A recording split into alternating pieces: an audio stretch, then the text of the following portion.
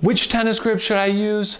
Which grip is gonna be best for the forehand and all the other strokes? You guys have questions and I have the answers and it's all coming up right now. Selecting the right tennis grip is very important to your tennis game. The grip that you choose to go with is going to determine the racket angle as your racket approaches the ball. Some grips have strengths and weaknesses, and depending on your style of play and what you want to do on the tennis court and the balls that you're receiving, could all play a factor in determining the best grip for you. Here are some quick tips on how to hold the tennis racket. First, you want to make sure that when you're holding the racket, you slide your hand all the way down to the base of the grip to where your pinky is barely holding on to the racket. Your racket butt is going to sit in the palm of your hand. At first, this may feel a little bit uncomfortable, but over time, your hand will develop a callus, and through repetition, you won't know that you held it any different. One of the reasons for holding the racket lower at the base is that as you develop as a player, you're going to want to have more racket head speed. And by having your racket down at the base, you're going to be able to generate a little bit more racket head speed and keep your hand a little bit looser to get a little bit more pop on your shots as well as on your serve. You may notice that on tour or on TV, a lot of the players have their hands spread out across the grip they have this little trigger finger here. And the reason why their hand is spread out across a grip is so then the player can really feel each shot and get a sense of feeling the ball on their strings as they're making contact and have a little bit more touch.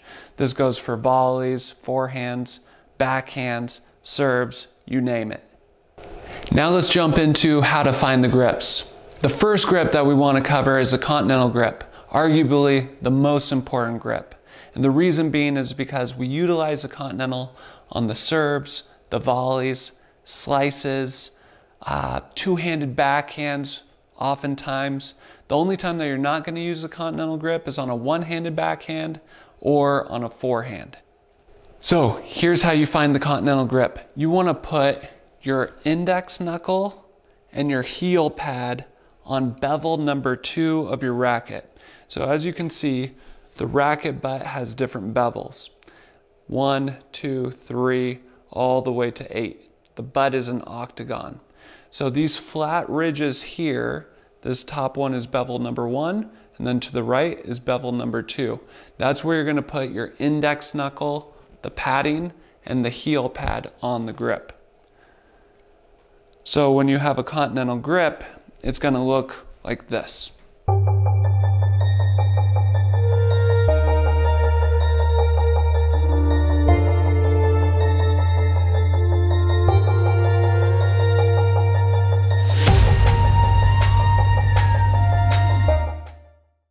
Continental Grip is very unique in the sense that it is very versatile. You can pick up low balls because you can open up the racket face with a Continental Grip. On your serve, you can hit slices, flat, and kick because you can manipulate the way that the racket face is um, approaching the ball. As a coach, I get a lot of pushback from students who don't want to change their grip when they've been volleying with an Eastern forehand grip, kind of like this, for years. And for me as a coach, there really is no wiggle room on volleying with anything other than a continental. Now, when you have a continental grip, you can have a little bit of wiggle room on bevel number two, but your index knuckle has to stay on bevel number two. If it starts creeping over to bevel number three, that's more of an Eastern grip, and then that's just gonna be no good for you. When you go to pick up low balls, you're gonna lose out on a lot of the benefits. So when it comes to serves, volleys, overheads, you're not gonna have any other grip than the Continental. One topic that's very debatable is what's the best grip for the forehand ground stroke. As a coach, which grip that I determine to have a student utilize is based on where they're at in their tennis game and where I think that they're going to go. From a developmental standpoint, when working with a student, the Eastern forehand grip gives me a little bit more wiggle room to teach them how to take the ball on the rise since waist high balls are going to be much more comfortable with the Eastern grip. Whereas with the semi-Western grip, which is a little bit more aggressive, it's going to be more comfortable to hit balls chest high. When working with adults that aren't generating as much power and perhaps they need a little bit more muscle mass to get that ball going through the court, then I generally teach an Eastern forehand grip. And the reason for this is because we want to maximize their power. Whereas utilizing a grip such as a semi-Western grip is going to require a little bit more racket head speed that they may or may not be able to do. Here's how you find the Eastern forehand grip. You're gonna put your index knuckle padding here and your heel padding here on bevel number three. So you're gonna go here, one, two, three, and that bevel is this whole flat range here.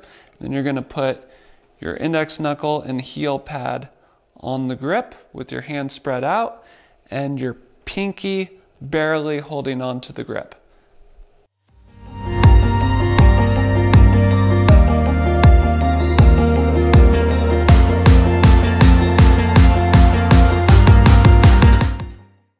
With the Eastern forehand grip, it's very versatile in the sense that it's easy to flatten out the ball and it's also easy to create topspin. You're just not going to be able to hit as much topspin as you would be able to utilizing a semi-Western or a Western grip. The ideal strike zone for an Eastern forehand is going to be waist high. It's a little bit more difficult to handle high balls with an Eastern grip However, it's a little bit easier to transition over to a continental grip if you're an attacking player looking to come up to net. The semi-western forehand grip is the most popular grip on tour today and is utilized by players such as Andy Murray and Rafa.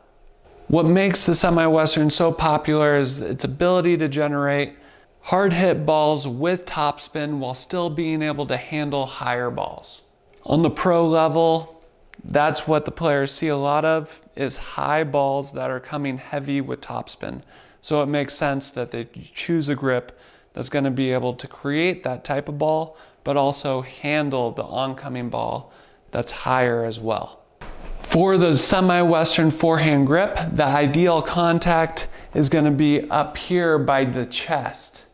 And you're going to be able to generate more topspin than you would be able to with an eastern forehand grip. The swing path is going to be more low to high naturally than an Eastern forehand grip. You can still flatten out the ball, but it's not going to be as easy to flatten out as it would be if you were utilizing an Eastern forehand. Some disadvantages of the semi-Western grip is that low balls are a little bit harder to pick up. And if you go to transition your grip to a continental, it's a little bit more extreme. Here's how you find the semi-western grip. You're gonna put your index knuckle padding and your heel pad on bevel number four. So you take your racket, remember it's an octagon, one, two, three, four, and then you're gonna, this bevel right here runs all the way up.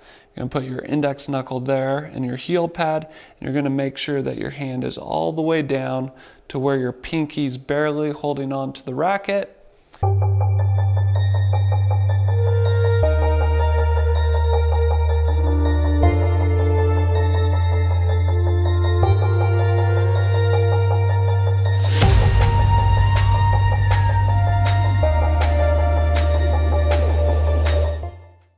Quick pro tip on finding the semi-western grip is that if you set the racket down on the ground flat and then you just go to pick it up, in my experience with my students, this helps their hand find bevel number four where their index knuckle is resting on the grip appropriately.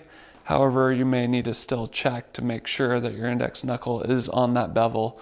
And over time, you'll be able to feel it and know when your grip is on the right bevel and when it's not. It just takes time to get that feeling of the grip.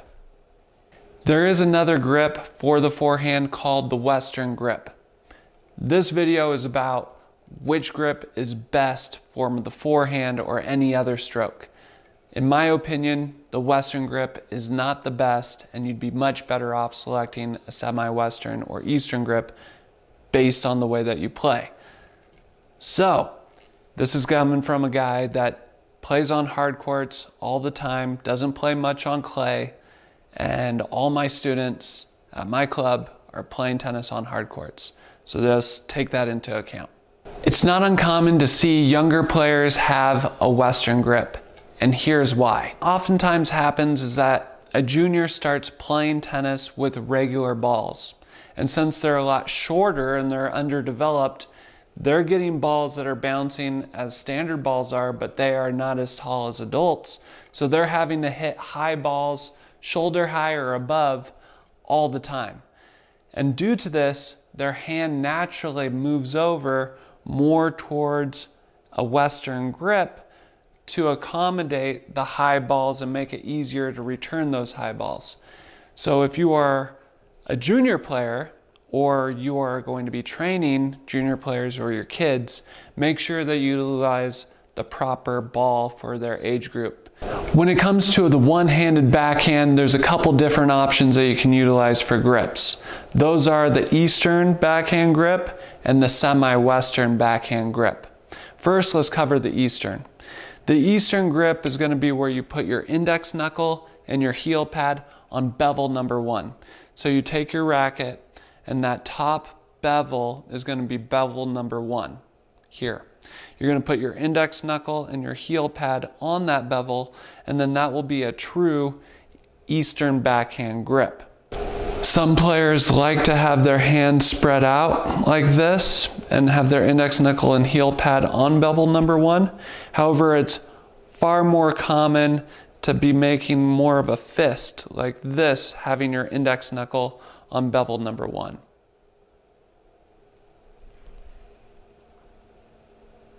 With this grip, you can hit the ball flat or you can drive up the ball for topspin as well. It's a very popular grip for one-handed players. In my coaching experience, this is my go-to grip when teaching people how to hit the one-handed backhand. When I come across a student that has a little bit more tennis experience and they can just unload into the ball and create a tremendous amount of power because they're very strong physically. Then I also look into doing a semi-western grip on their backhand, which is the same grip that's utilized by Stan Wawrinka. To find the semi-western backhand grip, you're gonna put your index knuckle padding and heel pad on bevel number eight. So for a righty, you start off on bevel number one, go one to the left, and this whole range here, put your index knuckle and heel pad on the racket.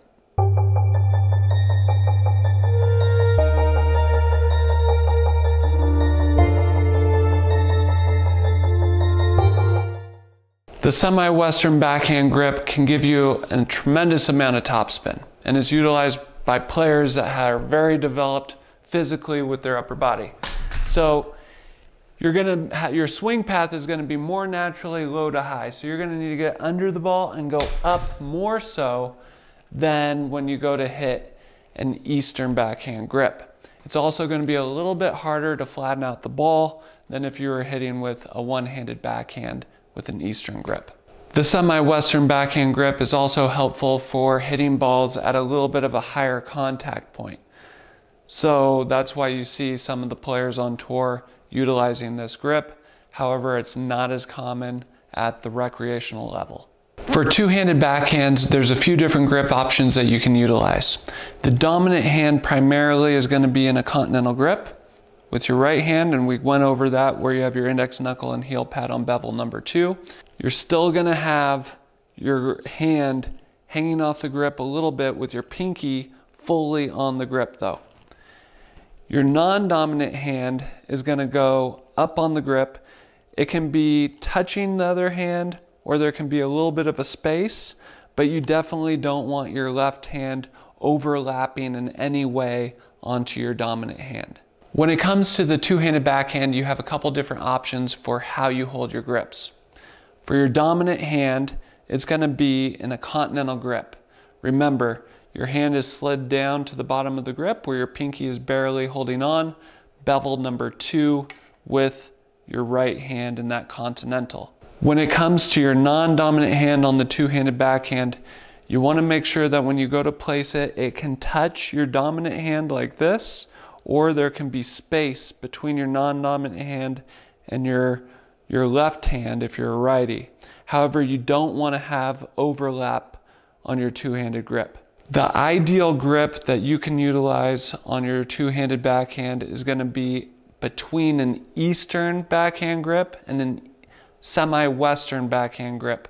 So that would be on the ridge between bevel number six and bevel number seven. So you go here, and you, let's just go to the left if you're a righty.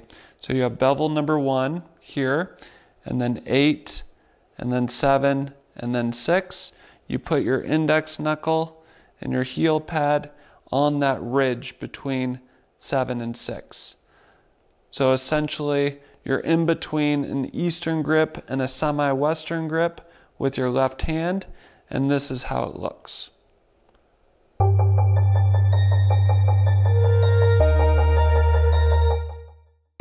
Once you have that hand, you go ahead and slide the right hand on there too. And now you have your ideal backhand grip. This is the grip that Novak Djokovic uses. It's the grip of choice for all my students and myself. You do have some wiggle room. You could have your left hand on an eastern grip, which would be bevel number seven with your heel pad and index knuckle, or it could go all the way to semi-western.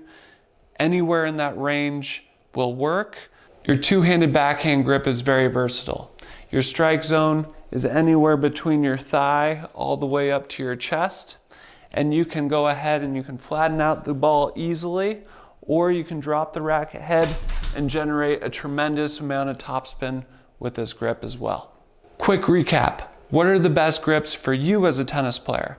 The Continental grip is going to be the best grip for you when you're serving, hitting overheads, hitting volleys. If you have a two-handed backhand, dominant hand will be in a Continental grip as well. Or if you're slicing, a Continental grip works great. The best grip for a forehand is going to be an Eastern grip if you're working on taking the ball early and you're developing your game, or if you're not able to generate enough power and you want to get more power on your shots and feel like you're receiving waist high balls, go with an Eastern grip. If you're playing tennis and you want to hit more topspin and you're already generating enough racket head speed, then a semi-Western grip is a great grip for you.